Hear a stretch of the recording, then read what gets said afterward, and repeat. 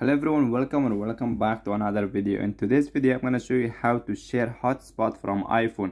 If you're iPhone user, iOS user, if you don't know how to share hotspot from your from your iPhone to other device, for example, I'm going to share my hotspot from iPhone to my laptop and my phone. For example, how to share that. If you just bought a new iPhone, like you don't have the option in here personal hotspot. You don't have this option. What you're gonna do is you have to go to cellular i don't know what how to pronounce this one. Just tap on it. And here you have the option just turn on this one off this one turn once you turn off this one okay guys? And here you have to do what you have to do is in here click in cellular data network in this one. Tap on it. And here you have the option scrolling down till the end. And here i'm gonna reset setting.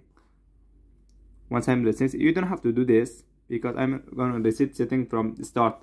And here what I'm gonna do is I don't have the like personal hotspot option in here. I'm gonna go to cellular again select uh, cellular data network clear. I don't know how to pronounce this one but it's up to you. And here scrolling down and here you have the option personal hotspot. For example you have the name. You have to put a name in here. For example for, there's different option if you wanna work if you wanna share to like any laptop or uh, mobile like can have access to your uh, hotspot you can just share this one. But with code e s f a n d uh, then space 20 you have like you can change it. It's, it's okay. This one is works for everyone. I think most of people will go with this one at least you're professional. And here i'm gonna go tap username. The username for example it can be martin for example my name 3 5 then my password gonna be for example hello hello i think it's sorry yeah hello h e l l o then 3 5 yeah one two three the last one.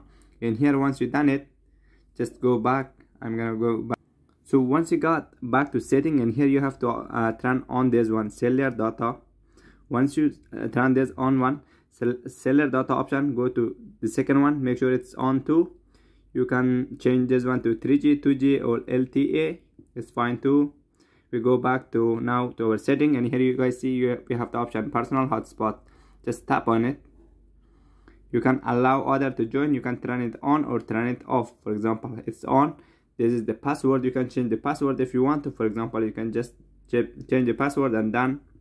And here i'm gonna go to my other phone. Connect this one. You have the option iphone. We're gonna tap on it. It's connecting because i already before connected it's same it's the same password. For example if i'm gonna change the password i don't have access to this one. For example change it to six done I'm gonna go disconnected from this one probably. It's disconnected as you guys see. It's connecting again but ask for password or passcode. I'm gonna tap in this one. Ask for passcode. What was the passcode? I'm gonna put the passcode and connect